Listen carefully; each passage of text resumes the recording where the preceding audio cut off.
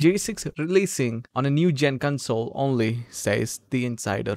At this point, it's starting to feel like GTA 6 is a myth or a collaborate hoax constructed by Rockstar Games to see how excited the gamers can get about the game that they are not even seeing a trailer for. Even though we are yet to see anything official about the upcoming Grand Theft Auto title. A leak appeared online in September last year which contained loads of gameplay videos from the game from the very early stage of development. Even so, from these videos, these locations and the protagonist for GTA 6 has seemingly been revealed. Legitimacy of these leaks when the first surfaced and stated that the data has been illegally accessed in the network intrusion. Unfortunately, we still have a very little ideas when GTA 6 is actually going to be released.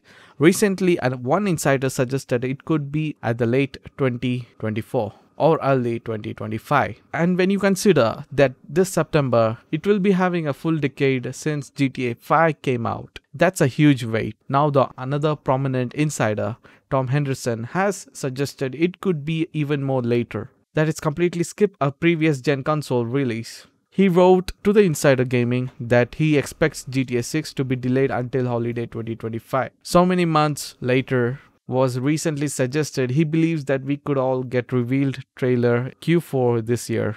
One of the Henderson sources say that the reason why the game is being pushed back so much it's because the fact it'll be releasing slowly on the new gen console. Reportedly, this way it was to make sure that the game would be releasing on the big enough console market and sell well despite being offered on less platform. Consider the PS5 and Xbox Series X stock issues that overshadowed their release. It would make sense Rockstar would want to hold a fire up until everything is ironed out. As with unofficial information, if Henderson claims this to be true, hopefully we can look forward for a new trailer in few months. Well, this is a bad news for all the gamers who are waiting for GTA 6. Let's talk more about in the comments about GTA 6 and your message to Rockstar Games as well. If you have missed all the confirmed locations will be on GTA 6 map and the announcement of GTA 6 showing up a lot of details and information. Make sure to watch those videos. A sub would be amazing. Like this video and make sure to hit the bell icon button. This is Dezzmon and see you all in the next video. Goodbye.